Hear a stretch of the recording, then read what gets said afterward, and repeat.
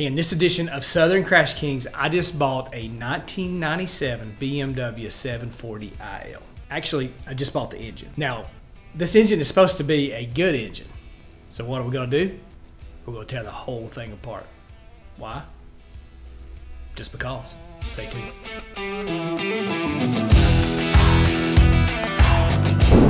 Right, this is a looks like kind of a higher mileage engine. It's got a lot of oil residue on it, but this kind of has like a header assembly, two cylinders per pipe.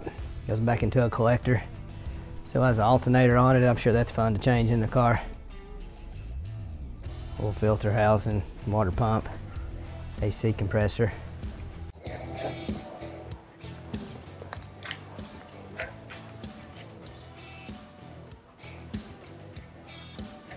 Headers again on this side. Looks like I got a busted valve cover cap, but that just covers the wires. But yeah, fairly complete engine. It's gonna be a fun one to take apart. And hopefully there's nothing wrong with it. Let's get it on the stand.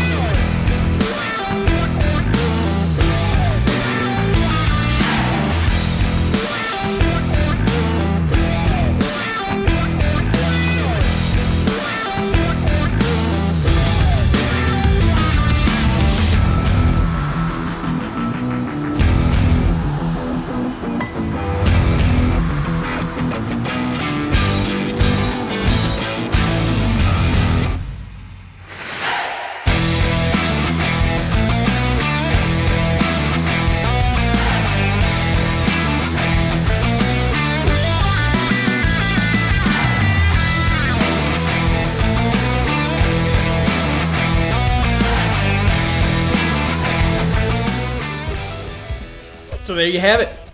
Turns out there was absolutely nothing wrong with that engine. We took apart a perfectly good engine.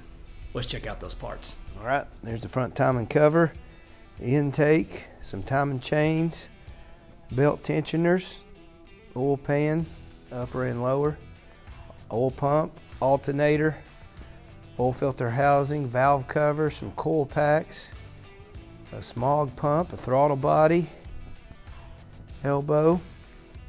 There's the AC compressor, more valve covers, coil packs, exhaust manifolds, exhaust manifolds. There's the pistons, valve covers, cylinder head, camshafts, water pump, uh, more camshafts, valve cover, pistons, cylinder head, another timing cover. Here's a crank, the block, another timing cover. So now you've seen the inside of a 1997 740 IL engine. You're welcome. We'll see you next time.